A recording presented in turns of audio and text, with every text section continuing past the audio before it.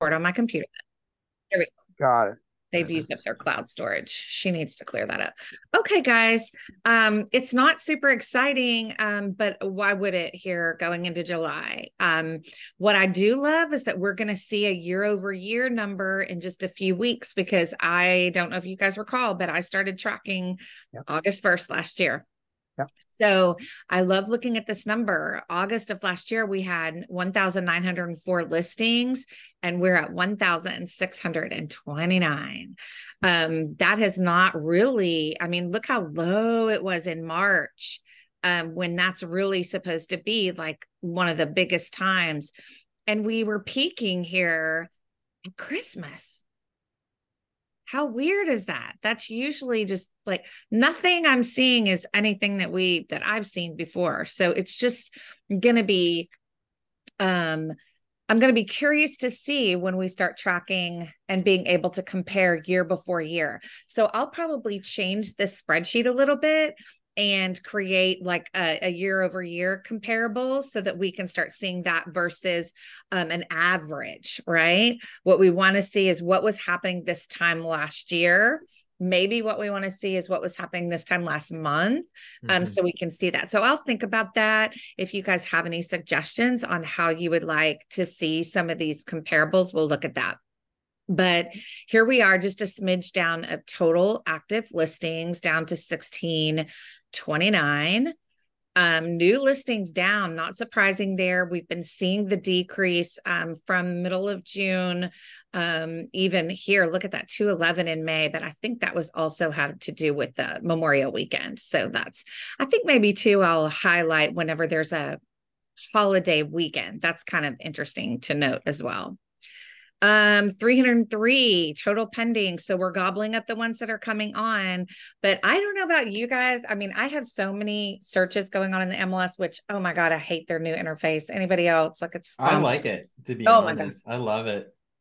The app, like logging in on my phone, it's like so many clicks just to get to what I want. It makes me crazy. So if you're creating a, a, dashboard, show me what you're doing that you like about it when we meet next because I can't stand it. I just, you mean like eh, on the desktop or the app?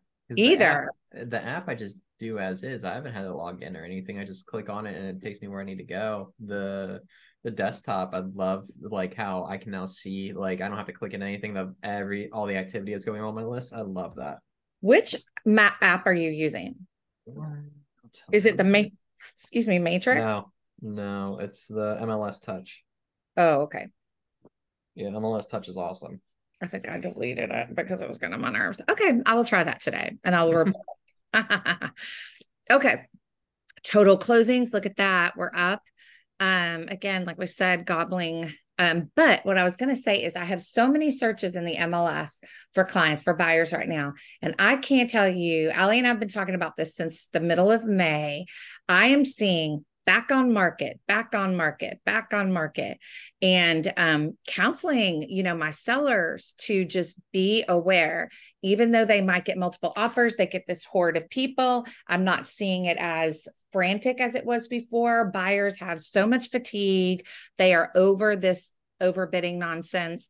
And um, what we're seeing is either stuff is back on market due to um, appraisal. I've had two appraisals not go through this in the last 60 days.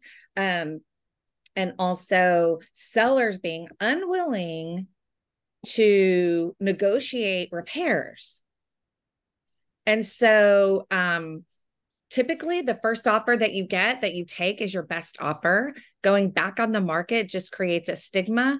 Unless you're really good um, listing agent and being able to market any inspection reports or whatever that you might have gotten from the first buyer to do some repairs or whatever uh, one of my listings did that. So we're going back on the market here in like a week. So um, she did a bunch of repairs to fix that. She just wasn't willing to take some rando $30,000 price reduction. You know what I mean?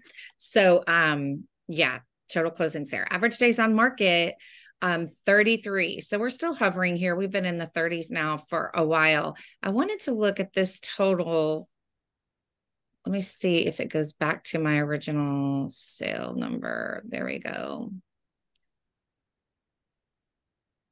Hold on one second. That's what I want to look. at. Oh, I always like to look at this because the um the uh the number here was up quite a bit. The average price 348 433. Look at these beasties that sold. 2.4 in Shadyside, 1.3 in Shadyside. Look at all those million dollar houses in in Allegheny County that closed in the last week. So that's why we see this sales price or I'm sorry, average price, you know, crank up um, right there. If we were to do an, an average price in all of West Penn and get rid of all these, um, because I just do Allegheny. I changed that to single family homes in all of West Penn. It goes down to 312 and it Mm. averages a three bedroom, two bath with a 98% sales price to list price ratio. So it's not too, too off. And I think it's because we had so many million dollar homes sell last week. Um, 207 price reductions. Um, we're down there. Um, so the stuff that's getting listed too high, you know, we're definitely going to be seeing reductions. 98.78 sales price to list price ratio. And we're definitely down from the over over we're seeing there. But again, reminder, this could be a price reduction due to inspections. It could also be a price reduction due to not appraising. Number of expired 63, same as last week. We do have four more individuals in the MLS. Um, I did notice a couple of new brokers that joined us um, from the alerts that we're getting, and uh, same uh, interest rate that we had last week that I'm seeing. Um, does anybody have any other insights or interest in what y'all are seeing? No, appreciate this, Jennifer. Okay. Hey, Hmm. after we're done, um, Ken text me. I'm going to be back on Tuesday. Cool. I'm in the office on Thursday for a closing at 10:30. And then afterwards, I'm meeting with uh Lydia. Cool. So let me know if you want to meet on Thursday. yes, I can be there. So are you working the desk by any chance? I gotta check. I don't know. okay, well just let me know. I'm not sure how long my I'm No, doing you're a really You're good. long meeting with Lydia. yes, yes. So um yeah, just text me and let me know what Cool. your I, I need, I need to find some time with you to figure out how to use MLS to look for properties for buyers. okay. Okay, Alrighty. so I'll let you Alright. know. Uh-uh, Yep. but other than that, have a nice fourth, enjoy the fireworks. Thanks. Have, have you too. See you guys. Thanks you. everybody. Have a good day. Thank you. You Bye. too. Bye-bye.